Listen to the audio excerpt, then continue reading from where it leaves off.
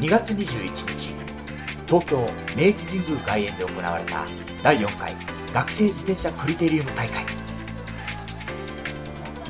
都心では行われることのない学生トップレベルのロードレースに快晴に恵まれた会場は熱気に覆われました。明治神宮外苑クリテリウム大会は全11戦からなる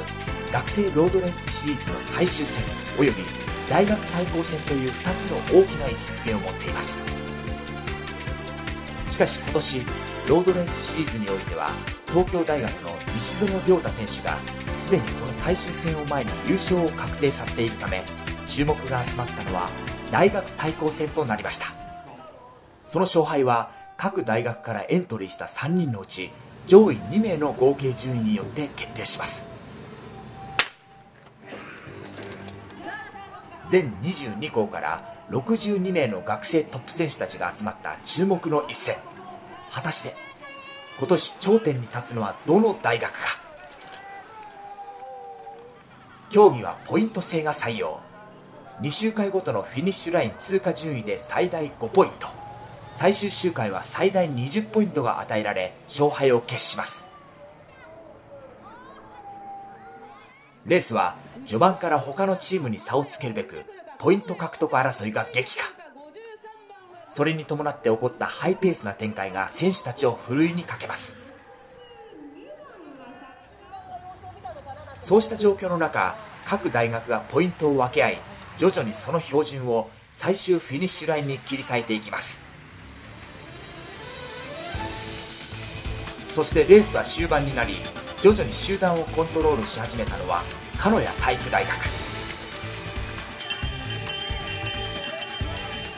しかし残り1周最後のゴールスプリントに向けたカウントダウンが始まるとそのポジションをめぐり牽制合戦へ残り 500m 果たして勝負の行方は？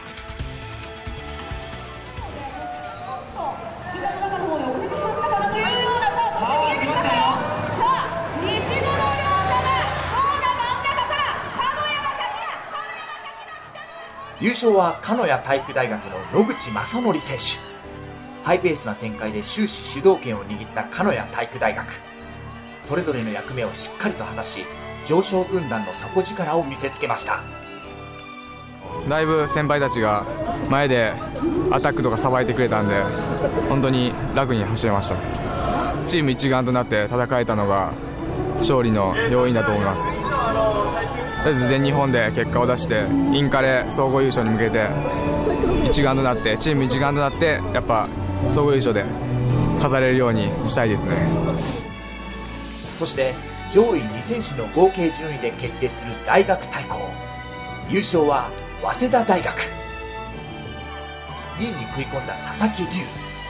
トラック競技でその将来を嘱望される彼が声援を力に変え見事チームを勝利に導きました。